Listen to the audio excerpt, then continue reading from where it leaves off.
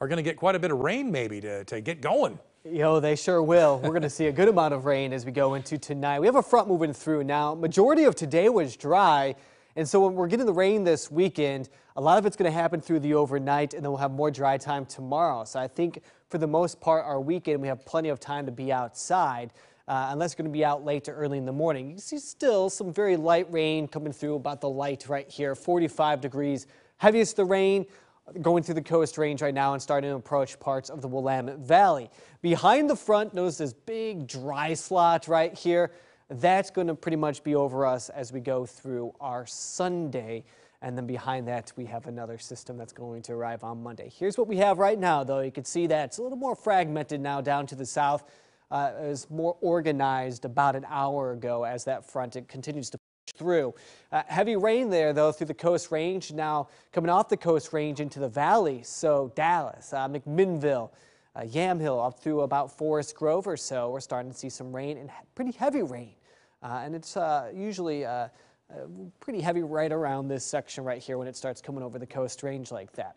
Okay, still dry though in Portland. I mentioned about midnight or so. It's getting pretty we may see it slightly before midnight, uh, but be prepared for that. Real quick, about a quarter of an inch coming out of Newport and Astoria. So I anticipate our rain total is about one tenth of an inch to maybe about a quarter of an inch when it's all said and done tonight and through the morning hours tomorrow. 44 degrees though right now in Portland, southeast breeze at 10 miles per hour, may gust to about 20 or 25 here.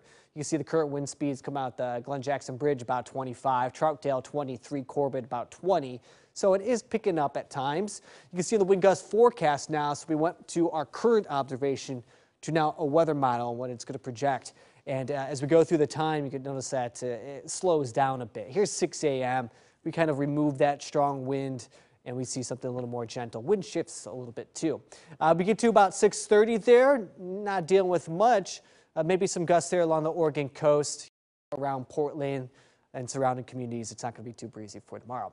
All right, so here's the day planning for your Sunday. We'll keep some clouds in the forecast, maybe some rain in the morning for the coast, maybe a sun break there. Temperatures in the mid 40s for the gorge. I'll tell you this, coming out of the coast tomorrow, um, maybe some very uh, strong waves coming in. We do have a high surf warning until 6 p.m., maybe a few sneaker waves uh, and some hazardous surf. So if you'd like to go out to the coast tomorrow for the weekend, uh, for your Sunday, just be careful there along the coast. Futurecast will help show that front move on through. Uh, pretty dry early tomorrow morning, a couple spotty showers, and then we set up for a stretch of rainy conditions. Uh, Monday all the way through to about Wednesday. You can see the rain there on Monday, some heavy rain on Tuesday, and then another round on Wednesday there. I think by the time we wrap up the week, uh, especially by the time we get to about Thursday probably, we may see about an inch to two inches of rain in the valley. All right, Thursday may bring some rain late at night at 10 p.m., but I think a good chunk of the day is going to be dry out there.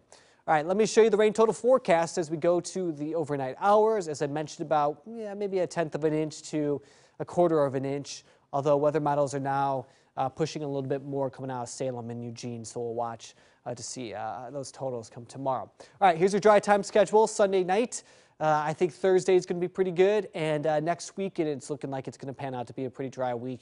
For the most part, Sunday is going to be dry, but can't rule out maybe a couple spotty showers as I showed you there. So we'll go definitely for the afternoon in the early evening. Seven day forecast there. We have some 50s in place. Warm and mild day on Tuesday, probably mid 50s about 10 degrees above our average. Uh, that goes for Wednesday too until a cold front moves on through. That will cools down a little bit on Thursday and stabilize conditions a bit. And then we're back to some rain on Friday. Uh, but as I mentioned, Wayne, I think next week can look dry and a little more sunny. We use some sunshine this week. But yeah, don't see much of it. It's remarkable how, how mild our temperatures have been all winter long so far. Yes. Yeah. Thank you. We're in